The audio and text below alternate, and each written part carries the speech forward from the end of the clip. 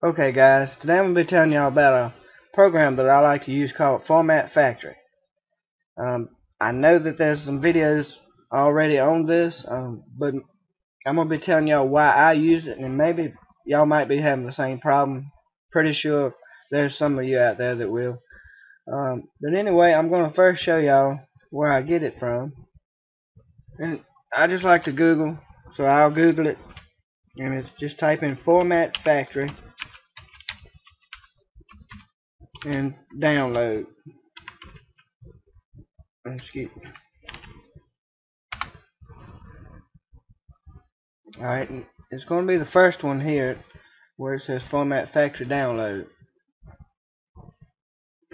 And this is uh, Softonic uh, website. And you just click download there and follow the prompts and all that. You know how to do it. Alright, the little issue I'm having. Well, first of all, my wife bought a Kodak EasyShare C190 camera. It's a digital camera. She bought it from Walmart.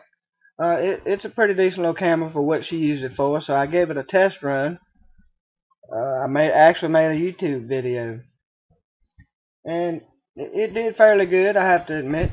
But the only thing that I have a problem with is it uses QuickTime, which is Apple software, which I don't have a problem with that either. But I like Windows Media, you know, player. So I'll show you what what happens here. So, so like, if I wanted to play one of these videos uh, that I had made, and say for instance I just click on it to play it, well, wouldn't you know it, it won't play it. So anyway.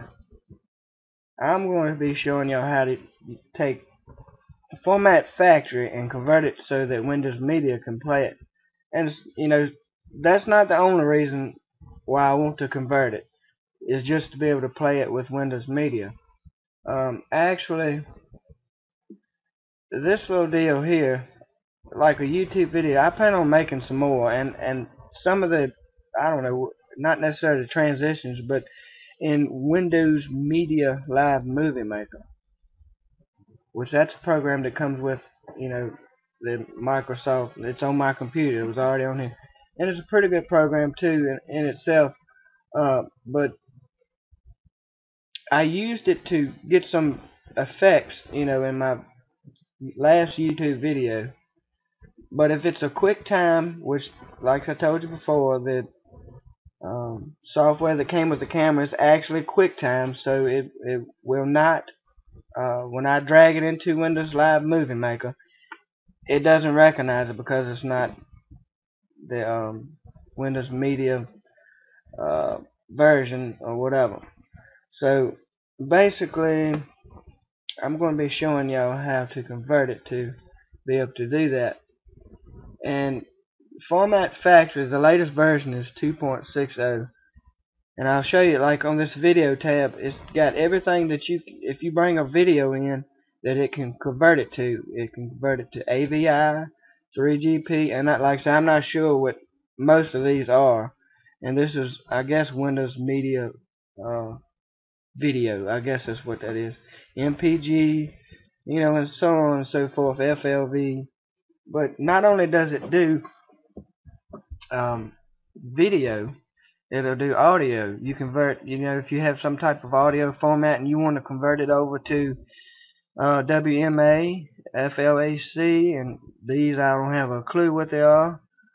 Um, but it it goes on down to WAV and WAV pack, but I don't know what the pack deal is. Alright, it also does pictures.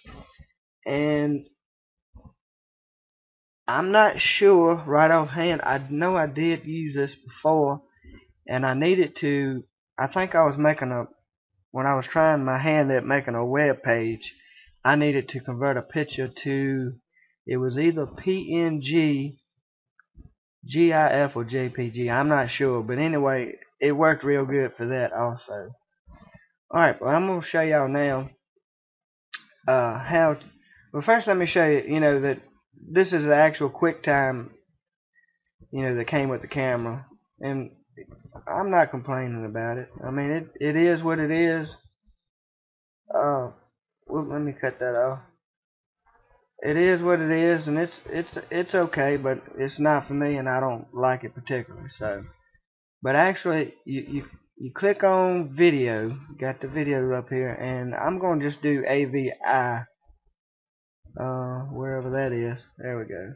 That's what I'm going to be converting it over to, and if this little screen will pop up, and it has little settings here, and I guess this tells you, uh, you know, different things about a high quality and size, and different. I don't play with that, but anyway, this is your output setting, and you just click uh, Add File and the particular one, let me find the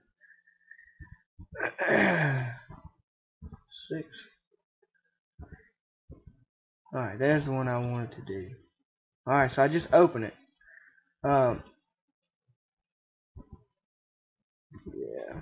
So I open it and just click uh, OK. And it brings it up here. And then you just click Start. And it, I think it takes about I don't know. I think the last one I did took about 40 some seconds or whatever. But in the meantime, I'm going to pause this and let it do its thing. Okay, guys, it took exactly 49 seconds. Uh, well, I think it's 48 there. Anyway, took 48 seconds to do it.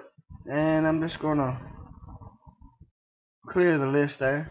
And we can exit out of here. And I'm, it, I'll show you where it takes it, um, the video when it's done converting it, it, it sends it to your documents because that's where the, uh, I guess by default, the folder, and it, you'll see FF output, which it stands for format factory output. Um, and it'll be in here, and there it is. And as you can see, there it is. And it works good. Um, and that way I can edit it in Windows Live Movie Maker. So, but I hope you enjoyed this tutorial, and I plan on making some future videos on some stuff that's actually helped me. And I just want to pass the info along. And I appreciate you watching. And if you want to, you can rate and subscribe. Thank you.